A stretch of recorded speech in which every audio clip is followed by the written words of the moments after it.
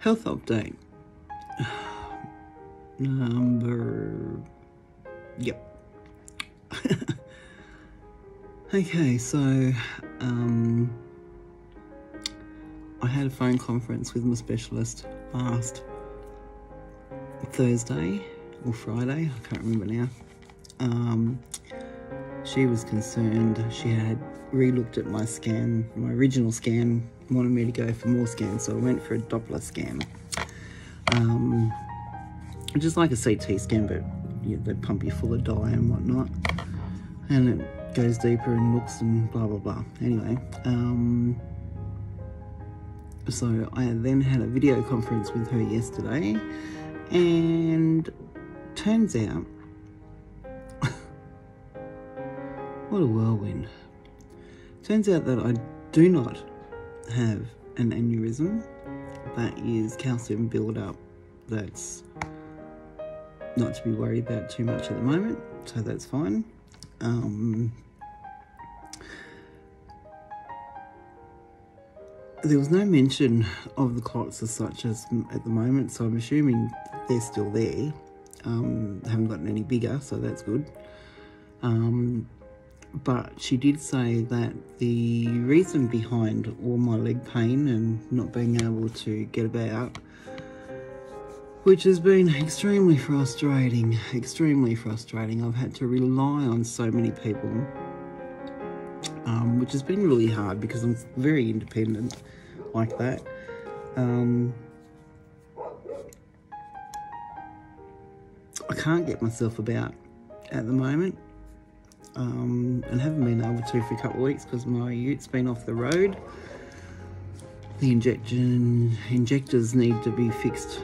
I'm not sure what exactly is going on there, but that's taking longer than I want it to be. Mind you, I'm not allowed to drive again um, because I have a 90% blockage in my aorta. Um, when when your aorta comes down, it splits off into two and goes down into your legs. Um, just past that intersection um, is blockage in my right leg. Um, so that's um, a main concern of theirs at the moment um, because the outcome of that could be that um, if it's not repairable, I could lose my leg. Um, or it could be as simple as a stent and I'll get back on with life like you wouldn't believe.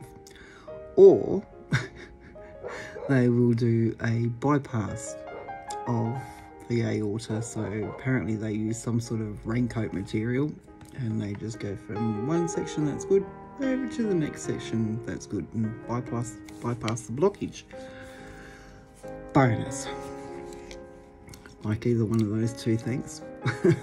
Not the first. Um, I can't get too far. I've got to stop. My legs hurt. They hurt immensely from my hip bones at the in my butt all the way down to my toes.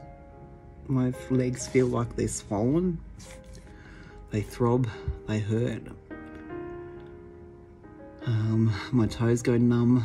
They just throb big time when that happens. And it's almost like I can't can't put pressure on them, can't put them down. So when I was out and about, it wasn't a great deal of fun. It was a different environment for sure. Fresh air, great, love it. But can't do that again. Yay! Oh my lord. Anyway, so I'm off to a vascular surgeon on Wednesday and see what they say. Um, mentally, this has been extremely hard. Extremely hard.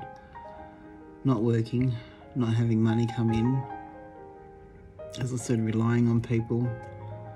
I've actually lost two friendships.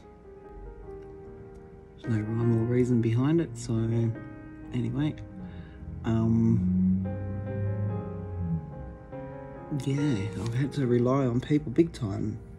Um, it's been two people in particular that have been of great support to me. Um, that's my daughter. She's been absolutely fantastic, very supportive, very helpful.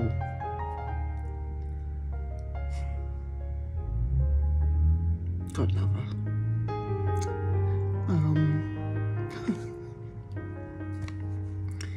and a friend of mine, Barb, been pillar of strength. Whether she knows that or not, I don't know, but she has been. And another friend, actually. She's been pretty good too. Thank you. That's Sharon. Thank you.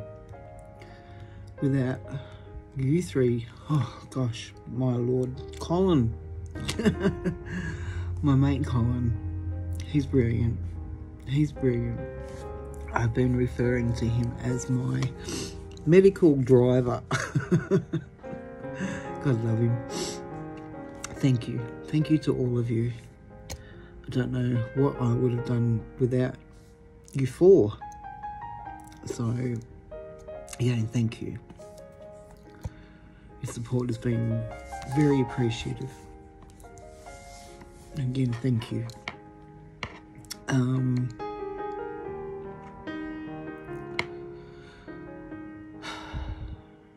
not only the two friendships, um, my daughter, as you know, nearly got run over. She got clipped by the car. Um, my son's called his wedding off. I've lost the two friendships. The independence is just not here. I mean, it's an effort to go and put the bloody garbage out, for Christ's sakes. It's been a tough struggle, very tough struggle. And a lot of it I've sat here on my own, looking at a computer screen or pots of paint. Yeah. Anyway, hopefully now life is up. They'll fix this relatively soon.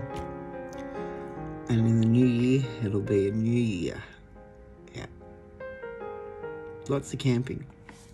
Lots of camping. I want to do lots of camping. I've got a camp trailer sitting out there. it's not even six months old. And I can't do anything with it at the moment. Mm. Frustration max. so, next Wednesday is the day. We'll see you then, I guess. Or maybe after that, when I get back home. And um, can let you know where I'm up to. Hooroo.